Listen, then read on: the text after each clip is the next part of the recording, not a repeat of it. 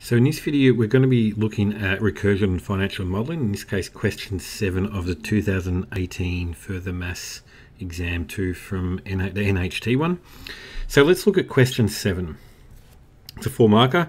So Rosalind invested some money in the savings account. It's compounding um, annually, annually. Oops, can't speak properly, can I? Um, and so if I'm compounding annually here, Okay, interest is calculated and paid at the end of each year.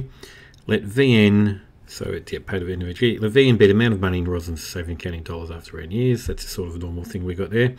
The recursive calculations below show the amount of money in her account after one and two years.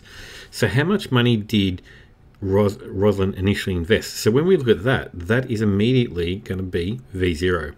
And we can see V0 is um, there.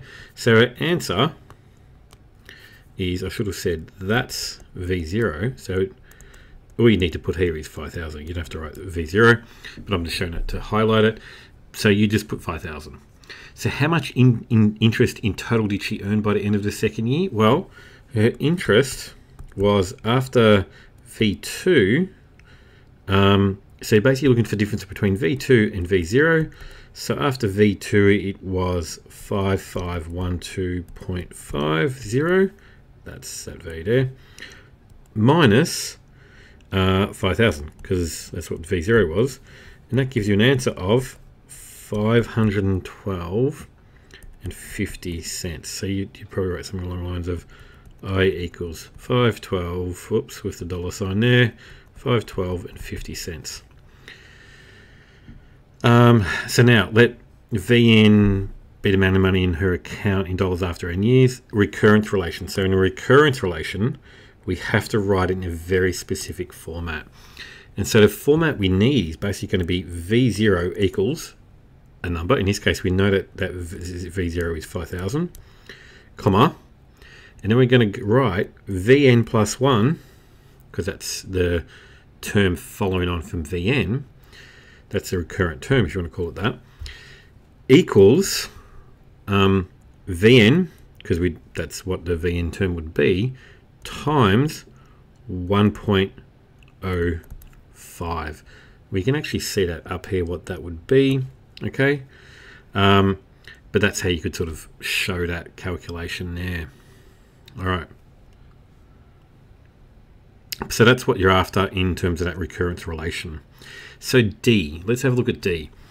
Her plans to use her savings to pay for a birthday. holiday cost six grand. What's the minimum annual percentage rate um, would have been requ required for Rosalind to have six thousand after two years? So this is not using any of the terms we used in the previous part of the question.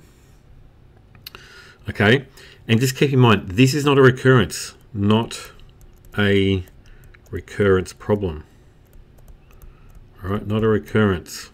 So let's keep in mind what equation you need. So it's going to be Vn equals V0 times Rn.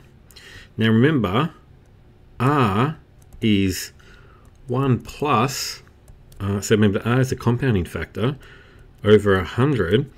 And what it asked for here was the um, annual percentage rate, all right?